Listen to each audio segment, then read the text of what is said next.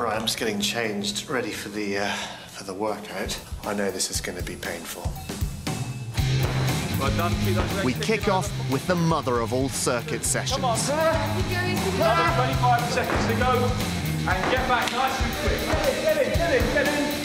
Three, two, one, and time there. Well done. Woo! I need water. I'll wrestle you for it. maybe I won't. for you, when you're doing a workout like that, I mean, I was sort of watching you, and when we'd stop, you'd, t- you'd have a bottle of water nearby. You know, once you come into elite sport, you, you just, it's a habit that you do. If you haven't taken enough water, do you, do you really notice it when you're actually doing something like this? Personally, for handball, when we're playing, because it's such a high reaction sport, you just notice that you're a, a split second off the pace. And in sort of elite sport, that's all it takes for a goal to be scored or someone to win the race before you. All I want for lunch is a glass of water. Ah. With hardly a moment to recover, the guys handed me over to their performance nutritionist, James Collins. He had something even worse in store for me. Oh yeah, it's quite. It's a lot warmer. You can actually feel it hitting you as you Yeah, yeah, yeah, yeah, yeah. I mean, this is a, this is kind of, you know, a hot summer's day. We've really tailored this environment now, and we're going to increase the intensity, so we're going to get some sweat out of you.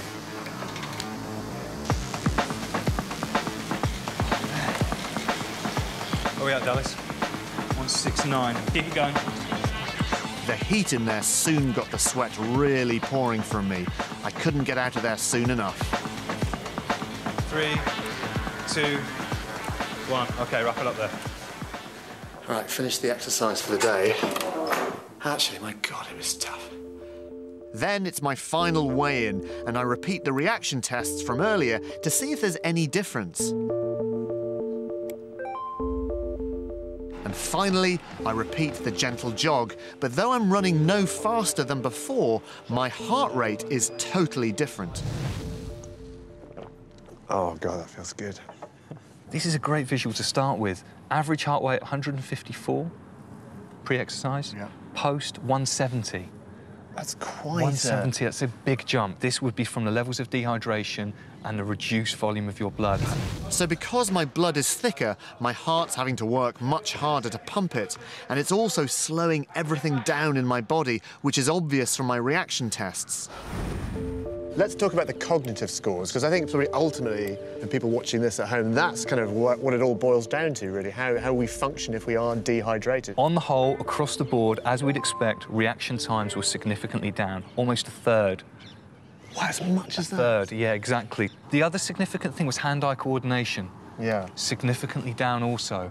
So again, probably for everyone, the general public, these are two really big things now that have an impact. You know, af possibly after the gym when they're driving home, and maybe even going back into the office after doing a gym session. So, how much water did I lose to affect my performance this much?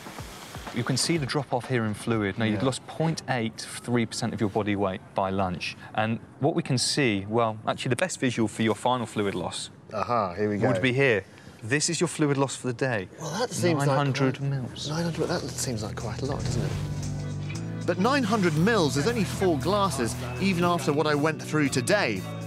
I'd have to sweat as much again overnight to need eight glasses, and that's ignoring the fact we get almost half of our water from the food that we eat. So, do we have to drink eight glasses a day?